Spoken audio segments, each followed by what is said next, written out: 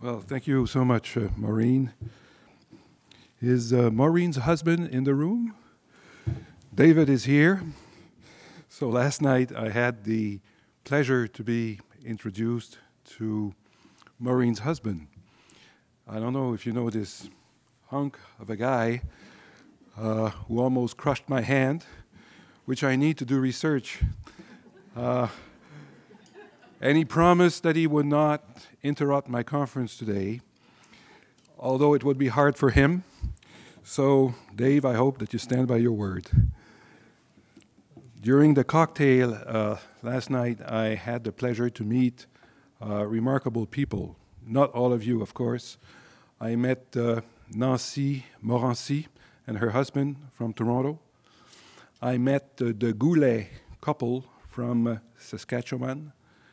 I also met uh, Dr. Maggie Larcher and her nice team from Hamilton. And uh, I was introduced to uh, Mrs. Uh, Richard, president of Sclerodermie Canada. First encounter it was very nice to meet you, Madame Richard. And I also met a very special person. We had a very short exchange of words that lasted about 15 seconds.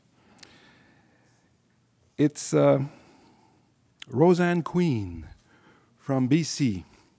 It's interesting, out there in the, the West, you have a queen, and here in the East, we have a, a pope. we have Janet Pope. Is Janet in the room? She's not arrived yet, but she'll be here this afternoon. Oh, she's there? well, Janet is the queen of scleroderma research. So here in the East, we have both a queen and a pope. But at any rate, Roseanne Queen told me something that uh, really touched me. She said, Hurry up and find a cure.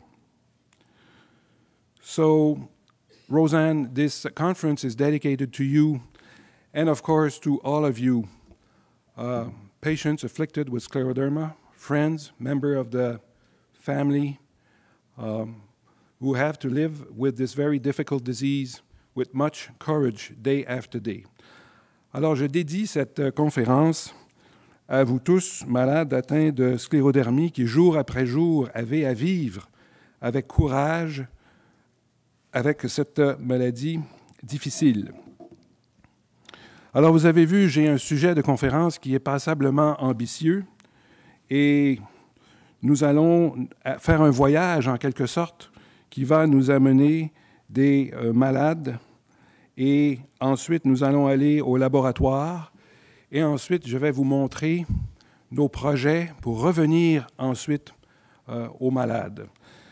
Je vais me concentrer dans cette euh, présentation essentiellement sur euh, des publications faites par le groupe de recherche en sclérodermie du CHUM durant les 15 dernières années.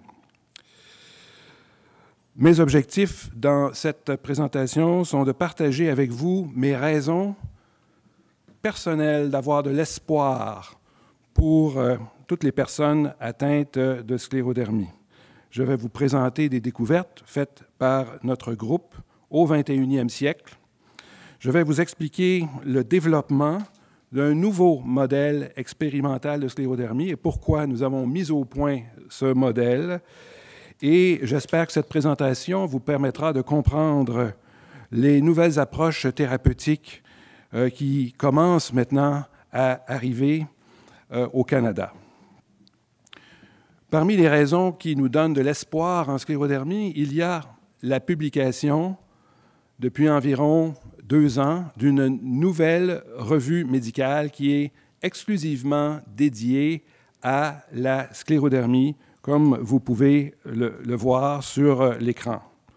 Il y a maintenant de nombreux livres sur la sclérodermie euh, qui sont publiés et voici l'exemple de l'un d'entre eux qui va être publié pour sa deuxième édition un peu plus tard à l'automne avec un groupe euh, d'éditeurs internationaux exceptionnels des États-Unis, de France, du Japon et euh, d'Angleterre. Il y a une mobilisation scientifique je ne suis pas le premier à le dire, mais je tiens à le souligner, euh, exceptionnelle et qui est sans précédent dans le domaine de la sclérodermie. Et vous pouvez lire à l'écran euh, des aspects précis de cette mobilisation. Le docteur Whitfield, dans Arthritis and Rheumatology, qui est l'une des meilleures revues au monde dans le domaine, disait récemment que la sclérodermie est un point tournant, stimulé par les découvertes en sciences fondamentales, les études génétiques, le repositionnement de médicaments connus et la priorisation de la sclérodermie par l'industrie pharmaceutique. Alors, la sclérodermie est moins orpheline qu'avant parce que les compagnies pharmaceutiques ont compris et ça, je vais le dire euh, sans absolument aucun préjugé, l'argent est le moteur et le nerf de la guerre. Les compagnies pharmaceutiques ont compris qu'il y avait peut-être de l'argent à faire avec la sclérodermie. Et pourquoi? Eh bien, on le voit sur cette euh, diapo. Et en haut à droite, vous voyez, et ça c'est tiré du New England Journal of Medicine, qui est probablement la meilleure revue au monde euh, dans le domaine médical on voit que la fibrose est un common pathway to organ injury and failure. Et un peu plus bas, vous voyez que la fibrose cause un tiers de tous les décès dans le monde. Et si vous regardez attentivement, en jaune, vous voyez, j'ai souligné que la sclérodermie était bien dans le New England Journal of Medicine et en relation notamment avec euh, la fibrose pulmonaire, la fibrose cardiaque, la fibrose rénale, etc. Alors la fibrose mène à tout. Un peu plus tard, je vais insister sur le fait qu'en sclérodermie, il n'y a pas seulement de la fibrose. Mais la fibrose, bien sûr, dans la sclérodermie, c'est important. Il y a de nombreux médicaments qui sont à l'étude. Nous avons la chance d'avoir avec nous cet après-midi l'un des meilleurs chercheurs clinicien au monde dans le domaine des études de médicaments en sclérodermie, le docteur Dinesh Khanna. Et euh, vous voyez sur cette diapo, son nom apparaît à plusieurs reprises. J'aurais pu mettre 20 médicaments sur cette diapo, je n'en ai mis qu'une demi-douzaine. Et euh, je voulais souligner que plusieurs Canadiens, dont Dr. Pope, Dr. Barron du Canadian Scleroderma Research Group, ont participé à certaines de ces études. Et celles-ci sont donc une source d'espoir. Une autre source d'espoir, eh bien, c'est bien sûr le, rassemblement des malades atteints de sclérodermie sous la bannière de grandes associations telles que la Société de sclérodermie du Canada, qui organise cette conférence. Et si vous regardez en bas à gauche sur cette diapo, vous retrouvez Maureen et euh, je tiens à exprimer mes uh, deep thanks and my gratitude on your behalf à Maureen qui a fait un travail extraordinaire à la, la, à la présidence de cette euh, association et également à la présidence de la Société de sclérodermie d'Ontario. Comme vous le savez, euh, Maureen s'est donné euh, body and soul à cette cause et euh, je suis très heureux qu'elle soit avec nous aujourd'hui à cette conférence. Sclérodermie Québec se distingue par sa longue histoire d'excellence et sa tradition comme étant le pionnier dans le développement des associations de sclérodermie au Canada, avec le leadership de M. Gilles Houlet, qui a fondé l'association avec son épouse, Suzanne Houlet, qui était l'une de mes patientes, maintenant, hélas, décédée. Et par la suite, Yvon Léveillé, Normand Ricard et maintenant euh, Gaëtan Barry, qui euh, a pris la relève. Et chacun de ces présidents, tour à tour, a amené l'association à des niveaux d'excellence euh, insurpassé. Et Sclérodermie Québec s'est donné comme objectif l'éducation des malades et également de hausser le niveau de connaissance au sujet de la sclérodermie dans le grand public.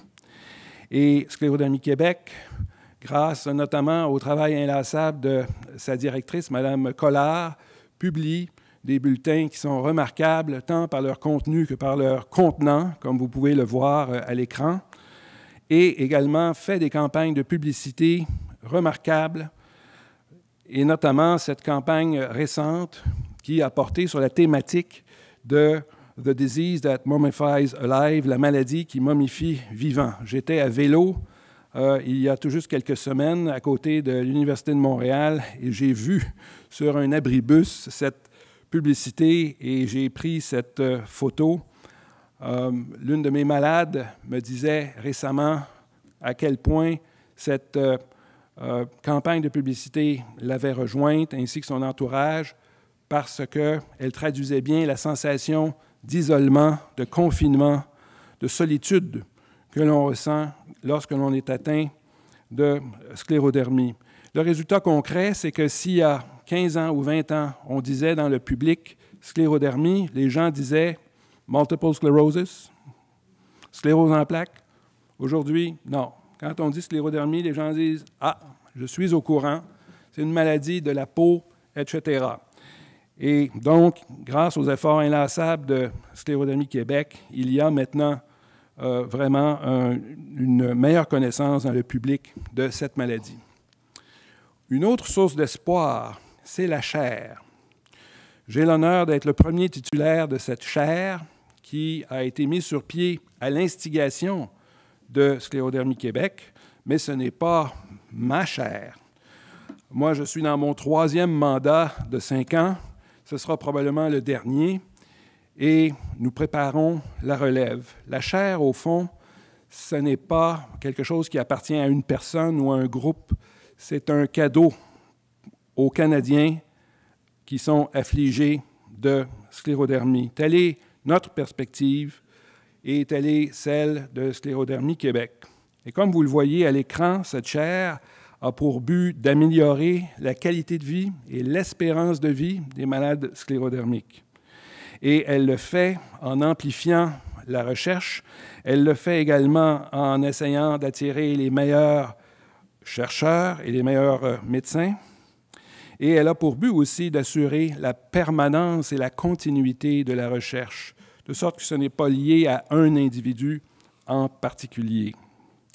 Maintenant, j'ai déjà dit à une conférence euh, à ce groupe que la chair est importante non seulement pour la recherche, mais elle est importante aussi au niveau politique, parce que nous vivons dans un système de santé où l'argent est évidemment limité. C'est très tentant de couper, et si vous n'avez pas de visibilité, vous êtes mort, au sens figuré, évidemment. Alors, cette chaire est très importante parce qu'elle nous donne une reconnaissance publique à la cause de la sclérodermie. Et récemment, il y a eu, par exemple, à l'Université de Montréal, une reconnaissance des euh, activités de la chaire à laquelle euh, était présent le recteur de l'Université de Montréal, M. Guy Breton, de même que les représentants de Sclérodermie Québec, Christiane Dubreuil et M. Robert Gravel. Une manifestation concrète de l'importance de la chair, c'est que le laboratoire de recherche où se font les expériences que je vais vous présenter dans quelques instants, eh bien, ce laboratoire est dans le nouveau centre de recherche du CHUM, qui est tout près d'ici, et nous avons notre laboratoire euh, au 11e étage. Ce centre de recherche a ouvert récemment au coût de 175 millions de dollars de fonds publics et la sclérodermie est présente dans ce centre de recherche. Et nos malades atteints de sclérodermie vont pouvoir bénéficier des meilleurs soins possibles dans le nouveau CHUM qui doit ouvrir au centre-ville l'an prochain au coût de 1 milliard de dollars de fonds publics. Alors la sclérodermie va être présente également dans le nouveau CHUM. Tout ceci ne serait pas possible s'il n'y avait pas, évidemment, une équipe. Et euh, j'ai mis ici une quinzaine de noms. Plusieurs de ces personnes sont présentes aujourd'hui. Nous avons bien sûr une équipe de recherche fondamentale. Je veux souligner le rôle euh, déterminant de Dr Marika Sarfati.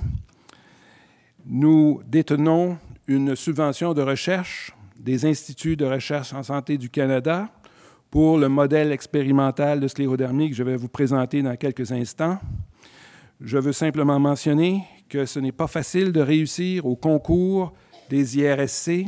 Le taux de succès est de seulement 14 86 d'échecs, pensez-y. Seuls les meilleurs sont choisis et nous sommes très fiers que le modèle que je vais vous présenter ait été choisi pour une subvention de quatre années. Nous avons également une équipe euh, remarquable de chercheurs cliniques dont vous allez voir les noms dans les publications que je vais vous montrer dans un instant. Je veux mentionner euh, le docteur Eric Rich, qui euh, va animer un atelier sur les cellules souches, la transplantation de cellules souches cet après-midi.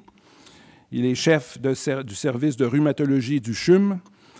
La docteur Tamara Grodzicki est notre liaison avec le Canadian Scleroderma Research Group et je suis heureux de vous informer que la docteure Sabrina Oa est une jeune rhumatologue brillante qui est maintenant en formation de fellowship pour trois ans sous la direction de Dr. Mary Hudson euh,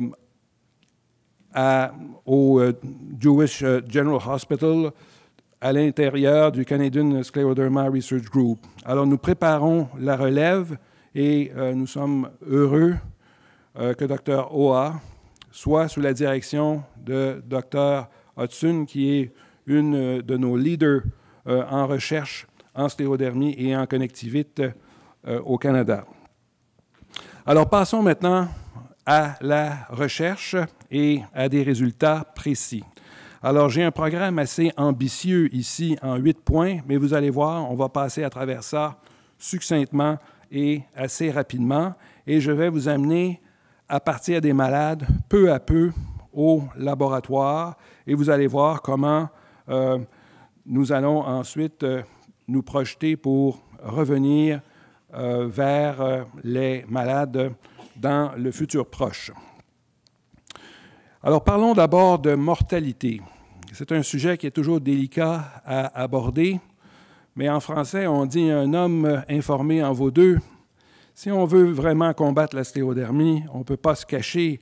Il faut savoir quels sont les dangers de cette maladie. Et pour euh, évaluer ces dangers, quoi de mieux que de savoir quel est le risque de mortalité qui est associé. Quand on sait ça, on est capable d'identifier parmi tous les malades atteints quels sont ceux qui sont le plus à risque de décès et à ce moment-là, on peut concentrer nos efforts de soins cliniques sur ce groupe avec des visites plus fréquentes, des traitements plus agressifs de façon à faire euh, reculer la maladie. Et voilà donc ce que nous avons fait dans cette étude qui a porté sur 15 euh, ans et euh, sur plus de 300 malades. Il y avait déjà eu une étude remarquable à Toronto, le Dr. Peter Lee, qui euh, avait publié sur la mortalité en Ontario, et c'était sur une période qui a précédé la nôtre. Et voici donc quelques résultats que nous avons obtenus. La sclérodermie de forme diffuse chez les femmes cause huit fois plus de décès que chez les femmes du même âge dans la population générale. Chez les hommes, c'est six fois plus de décès. Dans les formes moins agressives, intermédiaires et limitées, on a 2,5 à 3 fois plus de décès que chez les femmes et les hommes du même âge. Il y a donc très nettement un excès de mortalité, quel que soit le sous-groupe de sclérodermie euh, auquel on appartient. Ici, vous avez une autre façon d'exprimer euh, ces données. Je pensais que je pourrais utiliser mon pointeur. Je vais essayer de le faire ici. Alors, si vous prenez la maladie dans sa forme diffuse et que vous allez à 10 ans, vous voyez que le taux de survie à 10 ans dans la forme diffuse est de l'ordre de 70 et même en fait moins que ça. On a de 35, 35 30 à 35% de décès dans la forme diffuse 10 ans après le diagnostic. On a beaucoup de décès précoces dans la forme diffuse, alors que dans les formes plus limitées, on a à 15 ans de 15 à 25% de décès. Donc, on a des décès qui sont plus tardifs. Maintenant, nous nous sommes intéressés aux anticorps qui sont présents dans le sang de chacune des personnes qui ont la sclérodermie. On appelle ces anticorps-là des auto-anticorps parce qu'ils se retournent contre la personne. Et chaque personne qui a la sclérodermie a un, un seul de quatre euh, auto-anticorps possibles, et vous voyez leur nom ici. Et nous nous sommes intéressés particulièrement à ce que je vais appeler les anti-topo 1 ou anti-topo-isomérase 1. Pourquoi? Parce que ces anticorps-là sont fortement associés à la mortalité. Pourquoi? Eh bien, comme vous le voyez, ils sont associés à l'atteinte des poumons, à l'atteinte du cœur, à l'atteinte des reins, et par conséquent, ce sont des organes essentiels à la vie. Les personnes qui ont des antitopos sont plus à risque de décès.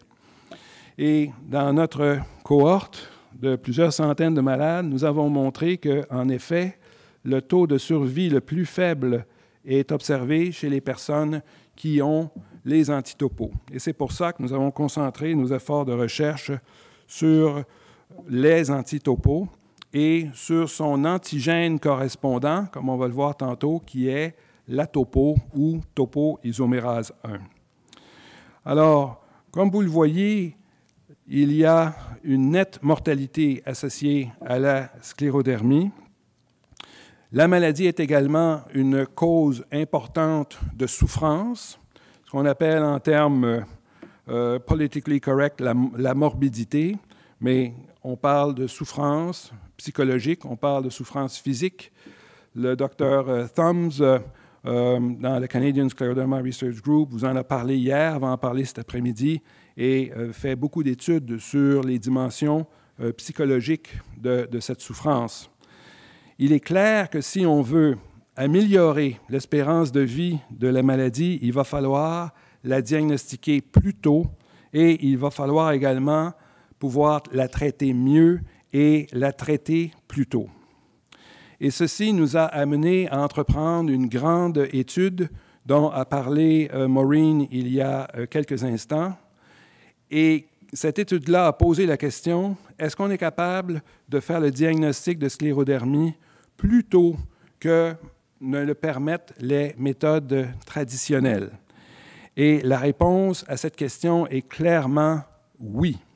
Mais pour pouvoir trouver cette réponse, il a fallu faire une étude massive qui a duré 20 ans, comme vous pouvez le voir, a 20-year prospective study.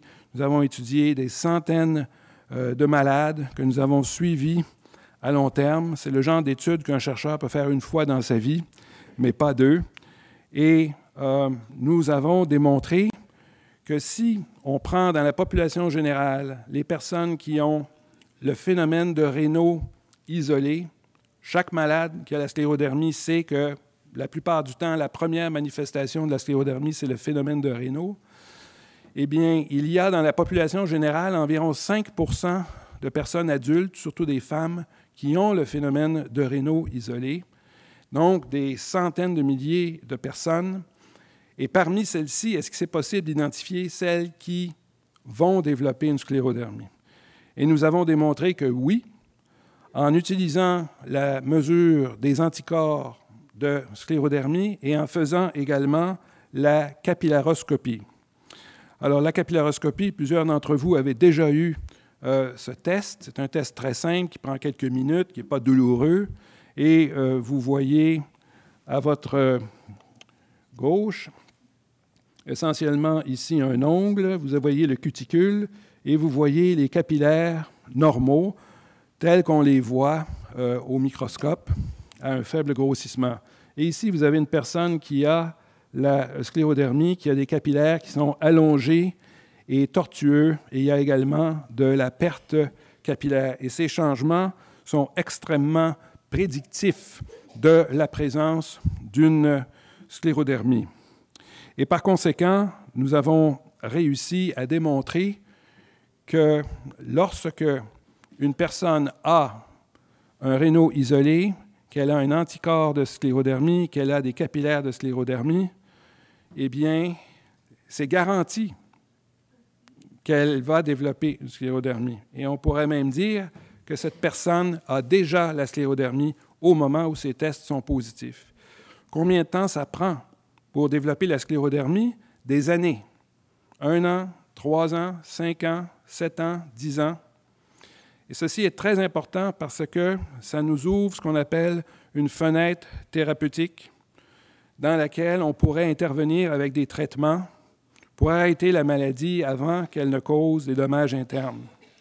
Ceci est très important aussi parce que ça signifie que la maladie est probablement beaucoup plus fréquente qu'on ne le pense. Elle est tout simplement pas encore diagnostiquée. Alors oui, on peut la diagnostiquer plus tôt. Si des médicaments étaient disponibles pour l'arrêter, on pourrait les donner beaucoup plus tôt, mais nous sommes dans un dilemme parce que la vérité, c'est qu'il n'y a pas encore de traitement efficace pour arrêter la maladie à ce stade précoce et par conséquent, nous avons besoin de faire de la recherche pour mieux comprendre les mécanismes pathologiques de la maladie et ensuite développer de nouveaux traitements. Si on regarde les traitements à l'heure actuelle d'un œil lucide, la vérité, c'est que, et vous le savez, il n'y a malheureusement pas de traitement curatif. Il y a peu de traitements antifibrotiques qui soient efficaces. Souvent, quand on traite la sclérodermie et quand je traite mes malades en tant que rhumatologue, j'ai l'impression qu'on est en train de courir après la maladie. On est toujours en retard. L'idéal, ce serait vraiment d'être en avance, il faut reconnaître que beaucoup de médications ont été essayées et ne fonctionnent pas pour euh, la fibrose. La maladie, tout le monde le dit, est extrêmement hétérogène. Dans cette salle aujourd'hui, il y a des 150, 200 personnes atteintes de sclérodermie. Il n'y a pas deux personnes pareilles. Il y a des jeunes, des personnes âgées, des hommes, des femmes. Il y a des gens qui ont la maladie depuis un an, d'autres depuis 15 ans. Il y en a qui ont beaucoup d'atteintes internes, il y en a qui ont peu d'atteintes internes. Alors on comprend que si on veut trouver un seul médicament qui va régler la maladie chez tout le monde, que ce n'est pas possible. Les mécanismes de la maladie, on le comprend maintenant de mieux en mieux, sont extrêmement complexes. On va en parler dans un instant. Ce qui fait que c'est probablement pas possible de trouver ce que j'ai appelé un Universal Magic Bullet, de trouver un traitement qui va marcher, un seul traitement qui va marcher chez tout le monde, c'est probablement pas possible. Mais vous allez voir qu'il y a moyen de contourner cette, cette restriction. De quoi avons-nous besoin? Bien, ça nous prend des découvertes. Et euh, il va falloir qu'on découvre pas le talon d'Achille, mais les talons d'Achille de la sclérodermie pour pouvoir mettre au point des Magic Bullets qui vont cibler ces talons d'Achille et qui vont nous permettre de traiter la maladie plus tôt, avant les lésions qui sont permanentes. De toute évidence, les percées thérapeutiques vont provenir d'une meilleure connaissance des mécanismes de la maladie et une des hypothèses que nous avons toujours défendues, c'est que peut-être qu'on mettait trop l'accent sur la fibrose et pas assez sur les autres mécanismes de la maladie. Je ne dis pas que la fibrose n'est pas importante, je, je, ne dis absolument pas ça. Il faut s'en occuper, c'est sûr. Mais il n'y a pas que la fibrose dans la sclérodermie. En fait, la fibrose est le dernier, la dernière manifestation de trois autres processus qui la précèdent et qui, à ce jour, n'ont pas beaucoup été l'objet d'interventions thérapeutiques. Et ces anomalies-là sont les anomalies euh, vasculaires, également les anomalies euh, auto-immunes, avec notamment les auto-anticorps, et il y a également l'inflammation, comme vous le voyez euh, ici, avec la participation de cellules du système immunitaire. Alors ce volet de vasculopathie, d'auto-immunité et d'inflammation a été sous-utilisé à ce jour parce qu'on ne le connaissait pas tellement. Maintenant, on commence à le connaître mieux. Et il faut savoir qu'en fait, ce n'est pas la fibrose qui est la première lésion en sclérodermie, en fait, c'est l'atteinte vasculaire. Et au niveau des artères, il y a des cellules qui s'appellent les cellules endothéliales qui tapissent l'intérieur des vaisseaux sanguins. Et la première lésion de la sclérodermie, c'est une mort cellulaire, une mort des cellules endothéliales par un processus qui s'appelle l'apoptose. Et les patients qui ont du phénomène de Raynaud et qui n'ont aucune autre manifestation de la sclérodermie à venir, c'est parce qu'ils sont en train de faire de l'apoptose de leurs cellules endothéliales des années avant que la fibrose n'apparaisse. Nous comprenons maintenant que no inflammation, no fibrosis. Il faut qu'il y ait d'abord de l'inflammation et la fibrose va suivre. Et vous voyez ici qu'on peut avoir de l'auto-immunité qui va conduire à un recrutement du système immunitaire inné et adaptatif. Cela va entraîner de l'inflammation et éventuellement de la fibrose. Ce schéma vous amène à un niveau encore plus élevé de complexité que les précédents, mais vous allez voir, l'essentiel y est. Alors, vous retrouvez ici les cellules endothéliales dont je vous ai parlé. Il y a des auto-anticorps qui peuvent être dirigés contre les cellules endothéliales. Le volet donc vasculaire est ici, mais vous avez également le volet d'inflammation, le volet d'auto-immunité, et la fibrose est ici en dernier. Et ce que nous voyons ici, c'est que suite aux lésions des cellules endothéliales, il va y avoir activation de l'immunité cellulaire et de cellules inflammatoires avec participation de lymphocytes T, TH1, TH2, Tregs, etc., et production de ce qui s'appelle des cytokines. Alors, c'est quoi des cytokines? Des cytokines, ce sont des messages cellulaires vous avez tous un téléphone cellulaire. Eh bien, les cellules ont également un téléphone cellulaire, pas tout à fait comme un Samsung ou un iPhone. Elles fonctionnent plutôt avec des signaux chimiques qui sont les cytokines. Et ces cytokines sont des molécules qui portent des noms comme euh, interleukine 3, 5, 13, etc. Et aussi le nom de TGF-bêta, qui est une master cytokine, une cytokine maîtresse dans le déclenchement de la fibrose sclérodermique. Et ce que, ce que vous voyez ici, c'est que ces cellules du système immunitaire vont envoyer des signaux chimiques qui vont faire que les fibroblastes, qui sont normalement dans la peau, dans les poumons, dans le cœur, dans le tube digestif, vont commencer à se différencier. Ce sont des fibroblastes qui sont tranquilles et indolents, qui sont des résidents qui ne font pas grand-chose, mais sous l'influence de ces cytokines, ils vont se transformer peu à peu en, euh, en fibroblastes activés et ensuite en myofibroblastes qui expriment ce qui s'appelle alpha-SMA ou alpha smooth muscle actin. Le alpha-SMA, c'est un marqueur d'un myofibroblaste activé. Pourquoi c'est important? parce que ce sont les myofibroblastes activés qui produisent le collagène et donc la fibrose. Mais comme vous le voyez, ceci est l'étape ultime et avant d'en arriver là, il y a de nombreuses étapes et notamment euh, l'inflammation et l'atteinte vasculaire.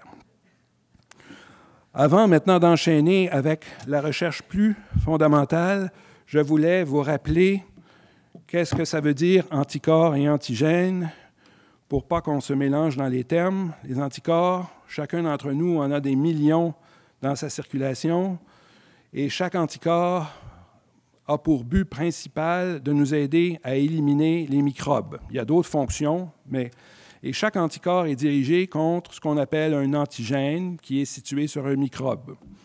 Dans la sclérodermie, il y a des anticorps qui se retournent contre la personne. Au lieu d'être dirigés contre les microbes, ils sont dirigés contre des antigènes de la personne. Ces anticorps-là s'appellent auto-anticorps.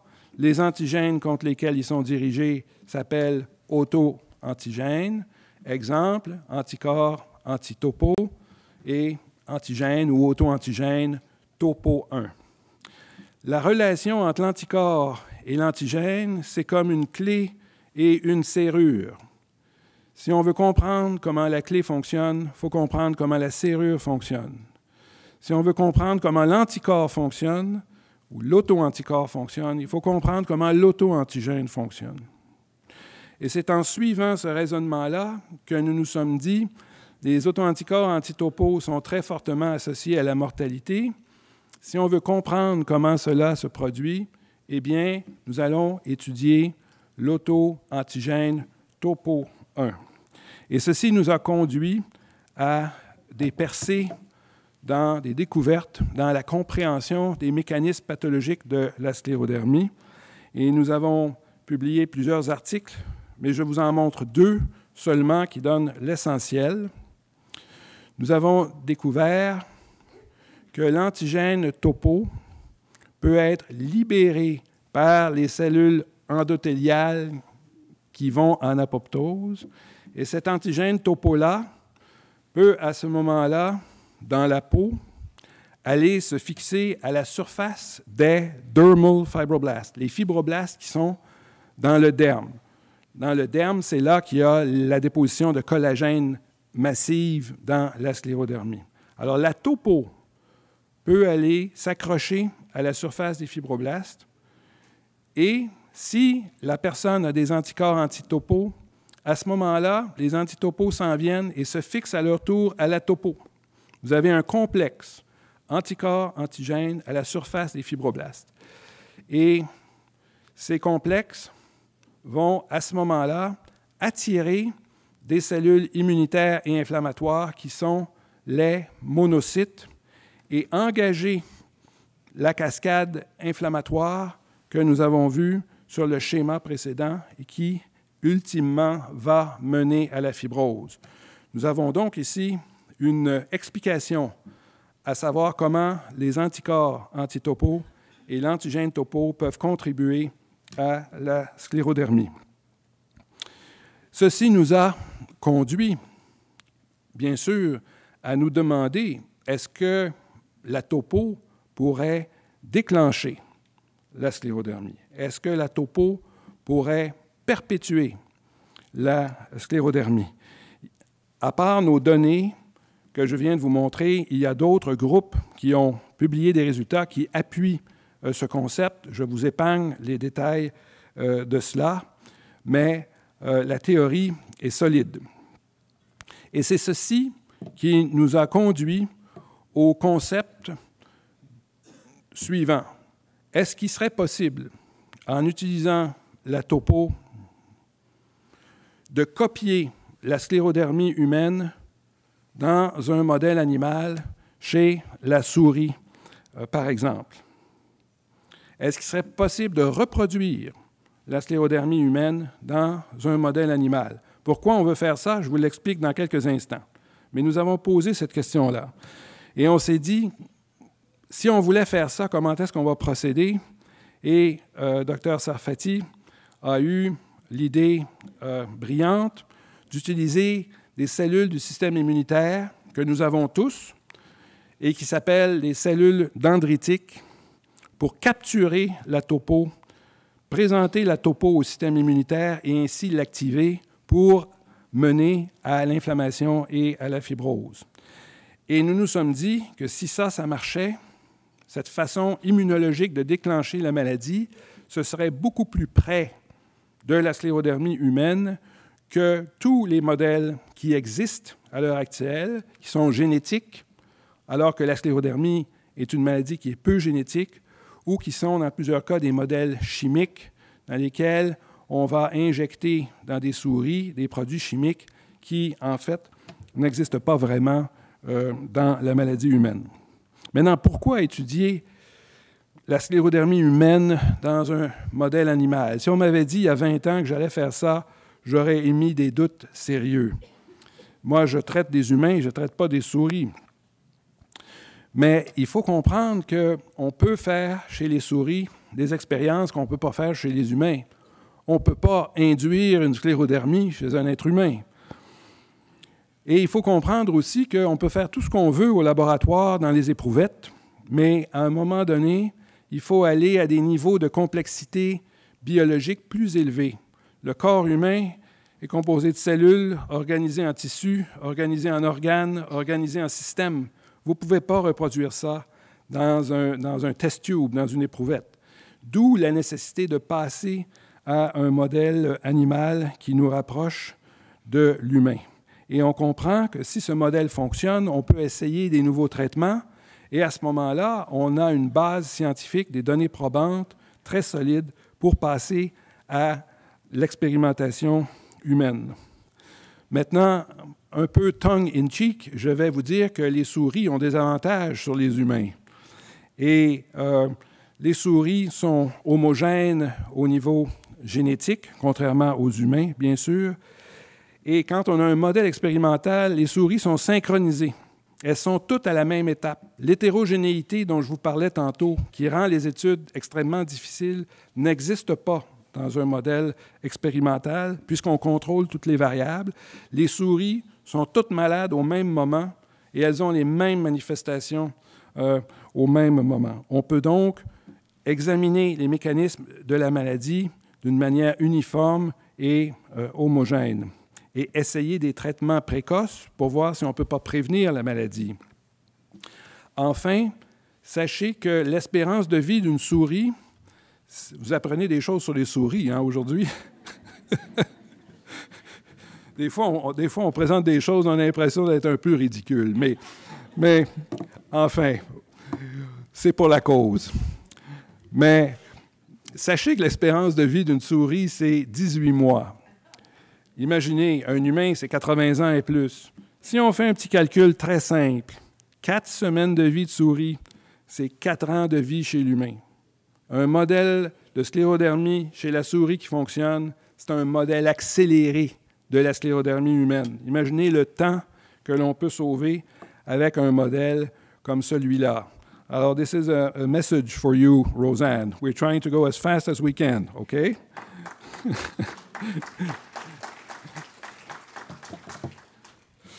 Maintenant, vous allez me dire, il y a déjà des modèles expérimentaux. Oui, bien sûr, il y en a. Malheureusement, aucun de ces modèles n'est parfait. Ils ont tous des limitations que vous voyez ici. Je ne dis pas que ces modèles-là ne sont pas intéressants. Au contraire, ils, peuvent nous faire avancer et il y a eu des percées grâce à ça.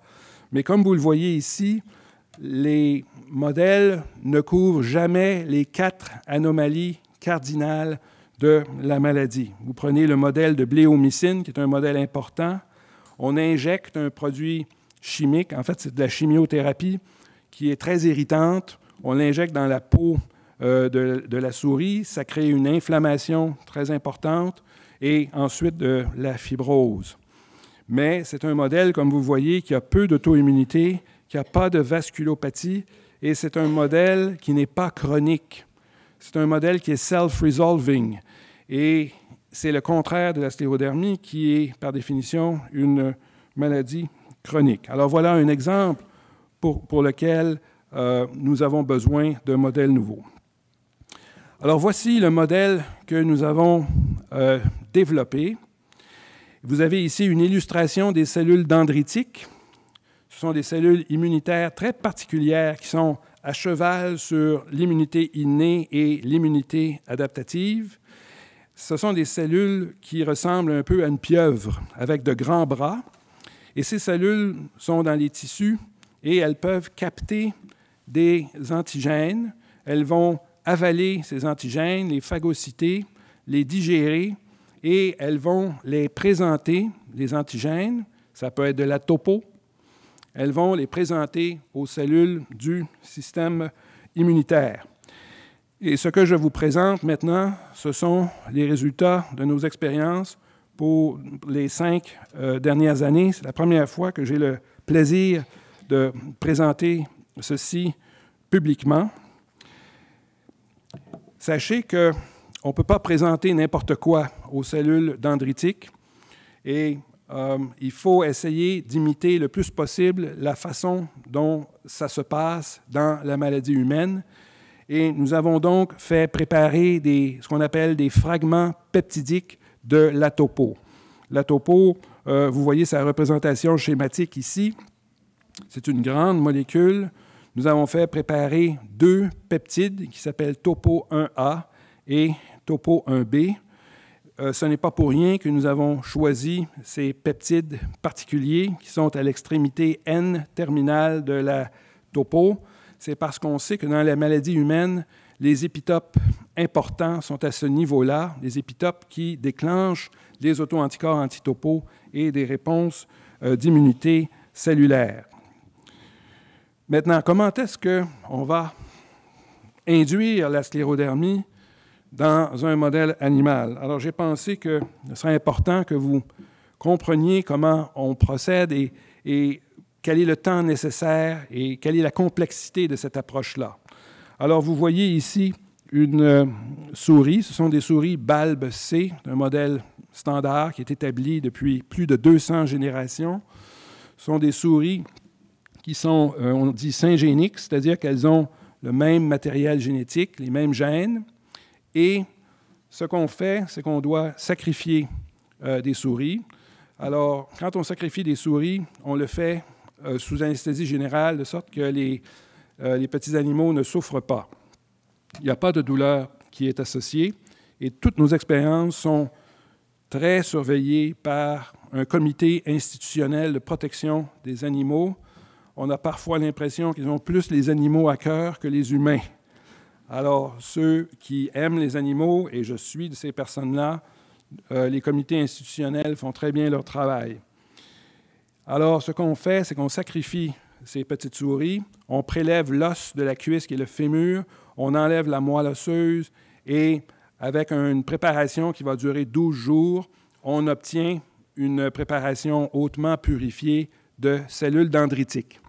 On peut alors prendre ces cellules dendritiques et les charger en peptide 1A ou un B de la topo.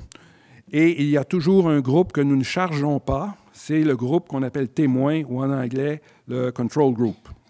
Et ceci va nous assurer que les résultats des expériences qu'on voit avec un A et un B sont spécifiques, ce n'est pas le fait du hasard. Et par la suite, on prend les souris et à quatre reprises, quatre semaines d'affilée, on va euh, les injecter au niveau de l'abdomen en sous-cutané avec les cellules dendritiques chargées soit en euh, peptide 1A ou en peptide 1B. Par la suite, il y a des étapes euh, de, boost après quatre ou cinq semaines et ensuite on donne du Complete Freund's Adjuvant. J'ai parlé hier à Dr. Maggie Larcher de Hamilton et qui a un PhD en immunologie alors, quand je parle de Complete Freund's Adjuvant, Maggie, I know you know what I'm talking about. Alors, et éventuellement, on sacrifie ces souris soit à 12 semaines ou à 18 semaines. Si vous regardez combien de temps ça prend, du temps zéro jusqu'à 12 ou à 18 semaines, et que vous ajoutez le temps nécessaire pour faire les coupes qu'on va observer au microscope, faire les mesures de cytokines, les calculs statistiques, les comparaisons, etc., c'est 5 à 6 mois pour chaque expérience. Alors, quand vous commencez ça, vous ne pouvez pas aller en vacances.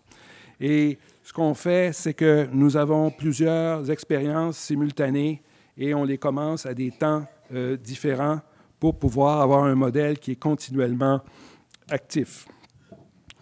Alors, voici maintenant les résultats que nous avons obtenus. Alors, je vous rappelle que nous avons fait les injections dans la peau de l'abdomen des souris.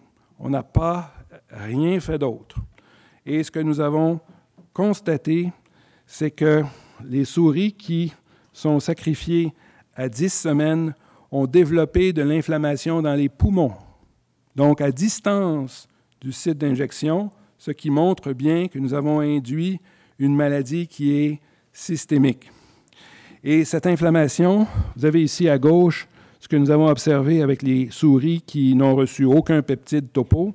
Cette inflammation, je pense que même en étant euh, pas un spécialiste de ça, on peut voir qu'il y a des amas de cellules inflammatoires ici, particulièrement avec le peptide 1A. Ça, c'est une coloration qui s'appelle hématoxyline et euh, éosine.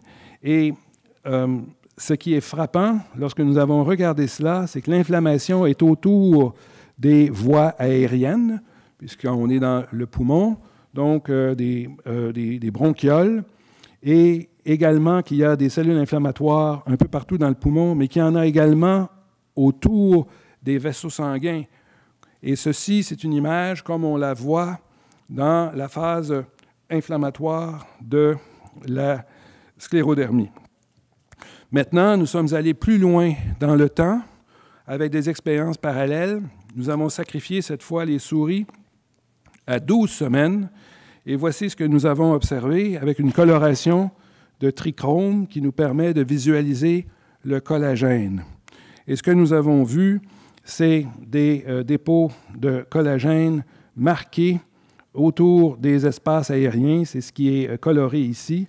Et également, nous avons observé des dépôts de collagène importants au niveau, euh, autour des vaisseaux, également dans la paroi des, des, vaisseaux sanguins, toujours plus marqués avec le peptide 1A. Il y en avait également avec le peptide 1B, mais à un moindre degré. Et ici encore, il s'agit de souris qui ont été sacrifiées euh, et, qui ont été euh, traitées avec des injections euh, sous-cutanées. Maintenant, nous nous sommes dit comment démontrer d'une autre manière qu'il y a bel et bien de, de la fibrose chez nos souris? Eh bien, on peut le démontrer par un marquage immunochimique avec un marquage de l'alpha SMA, dont je vous ai parlé. Je vous ai dit, c'est un marqueur des myofibroblastes activés qui produisent beaucoup de collagène.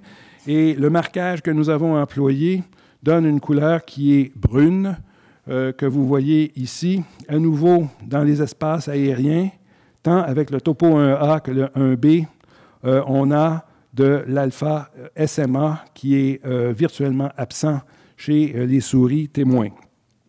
Il y a un autre aspect important de ce résultat, c'est qu'il a été observé à 18 semaines et nous avons donc ici un modèle qui est protracted, c'est un modèle qui est prolongé d'inflammation et de fibrose par opposition aux autres modèles actuels qui sont souvent self-resolving et donc de courte durée. Et, et, cette notion de chronicité nous paraissait très importante pour pouvoir ressembler le plus possible à, ou reproduire le plus possible la maladie humaine. Enfin, nous avons mesuré aussi l'épaisseur des septa alvéolaires. Qu'est-ce que c'est ça? Chaque fois qu'on respire, on a de l'air qui rentre. Ça s'en va jusqu'à nos petites alvéoles. C'est un peu comme une éponge. Et euh, les alvéoles ont un côté où l'air arrive.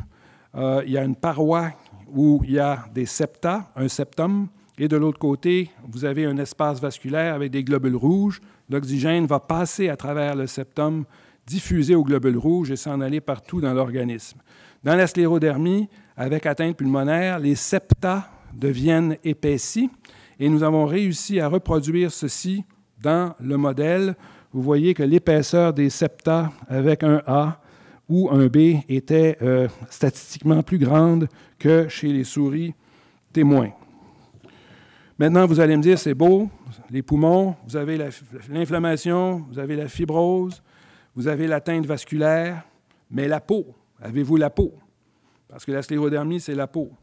Alors, oui, nous avons la peau. Alors, ce que vous voyez ici, c'est une peau de souris normale qui n'a pas été, euh, qui a été traitée avec des cellules dendritiques, mais sans peptides. La petite couche ici à la surface, c'est ce qu'on appelle l'épiderme. Et ce qui est coloré ici, c'est ce qui s'appelle le derme et le collagène normal est coloré. Et ce que vous voyez, c'est qu'il y a une augmentation massive de l'épaisseur du derme et dans les souris qui ont été chez les souris traitées avec topo 1A et également chez Topo 1b, mais à un moindre degré. Et ceci a été observé à tous les temps où nous avons fait les prélèvements, mais ici, j'ai pensé intéressant de vous montrer que c'est à 18 semaines, ce qui montre que c'est un modèle qui est vraiment très prolongé. C'est l'équivalent de, plus d'une décennie de maladie chez euh, l'être humain, si on peut faire cette euh, comparaison.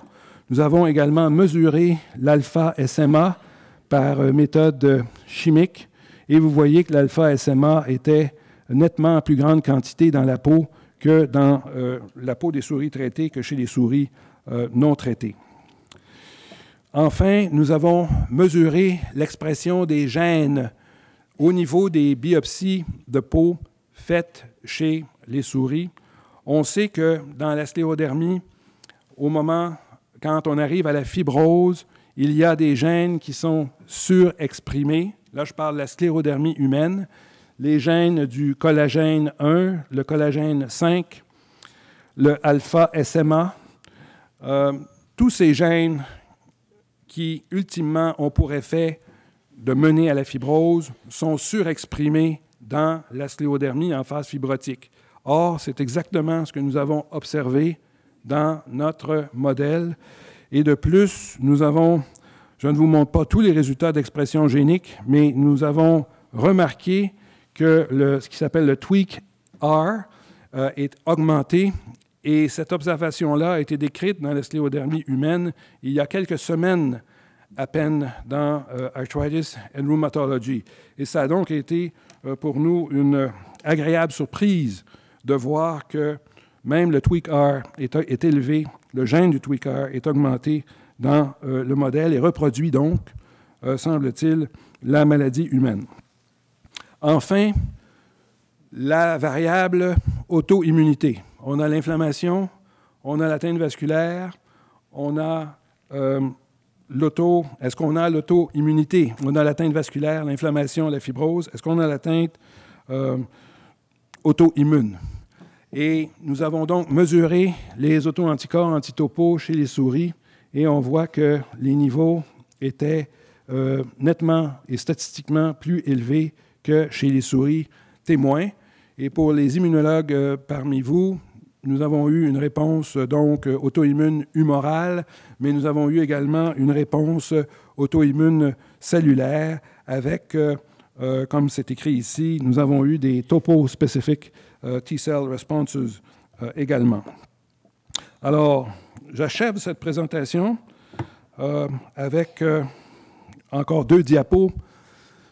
En résumé, je pense que nous pouvons dire que la stratégie d'immunisation que nous avons utilisée euh, reproduit les quatre grandes anomalies cardinales de la sclérodermie humaine et euh, les données que je vous ai présentées sont maintenant sous presse euh, et nous avons conclu l'article en disant que les cellules dendritiques chargées en peptides de topo induisent le développement progressif d'auto-anticorps et une fibrose cutanée et pulmonaire prolongée, semblable à celle qu'on observe dans la forme diffuse de la sclérodermie humaine.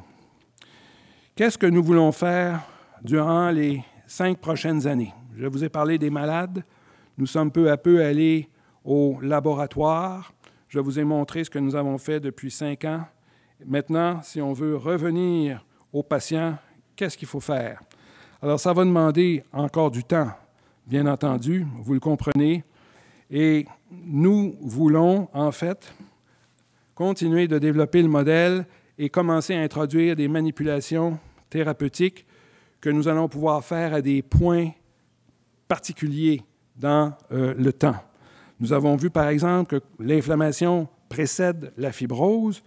Alors, est-ce que nous ne pourrions pas, euh, par exemple, puisque l'inflammation survient à la semaine 10, eh bien, donner des médicaments à la semaine 6, 7, 8 et voir si en faisant ça, à la semaine 10, il n'y a pas d'inflammation. Et s'il n'y a pas d'inflammation, il n'y aura pas de fibrose. Voilà ce que nous voulons faire. Alors, parmi les traitements auxquels euh, nous avons euh, réfléchi, il y a le sel sept ou mycophénolate mofétyle. Plusieurs personnes ici présentes prennent sans doute ce médicament. Il y a des traitements anti-cytokines qui sont disponibles. Il y a le dabigatran, qui est un médicament inhibiteur de la thrombine et qui a l'avantage de se donner en comprimé, et ainsi de suite, une combinaison de ces approches thérapeutiques pourrait très bien être utilisée dans le modèle. Et avec ceci, nous aurons une base scientifique forte pour ensuite aller vers l'humain. On comprend bien que si on va cogner à la porte d'une compagnie pharmaceutique ou des IRSC et qu'on leur dit donnez-moi un million de dollars pour faire un, nouveau, un nouvel essai thérapeutique dans la sclérodermie, ils vont dire non. Ils vont dire montrez-moi les données. D'abord, avant qu'on vous donne de l'argent, montrez-moi le hard data. Alors voilà pourquoi il faut avoir un modèle avec des données qui sont solides. Et de même, c'est difficile de faire des études cliniques en sclérodermie parce qu'il n'y a pas beaucoup de malades. Ça prend des études multicentres. Si on veut rassembler des centres autour de nouvelles approches thérapeutiques, il faut convaincre les, les médecins qui vont participer que les données sont solides. Voilà pourquoi nous avons besoin d'avoir euh, ce modèle. Alors, en conclusion, nous avons vu que de nouveaux mécanismes pathologiques sont en train d'être dévoilés. Il y a de nouvelles approches euh, thérapeutiques qui vont pouvoir être testées pour leur efficacité et, qui sait, leur toxicité ou leur sécurité. C'est ce que l'on souhaite dans le nouveau modèle. Et ceci va se traduire pour les malades par de meilleurs traitements qui vont être sélectionnés en fonction des mécanismes, parmi les quatre, des mécanismes qui sont actifs chez ce malade particulier. Et ce qui est en train de se dessiner, c'est que nous nous dirigeons donc vers des traitements qui vont être plus précis, plus personnalisés, plus individualisés et qui vont, j'en suis convaincu, améliorer l'espérance de vie et la qualité de vie des malades sclérodermiques. Voilà, merci beaucoup.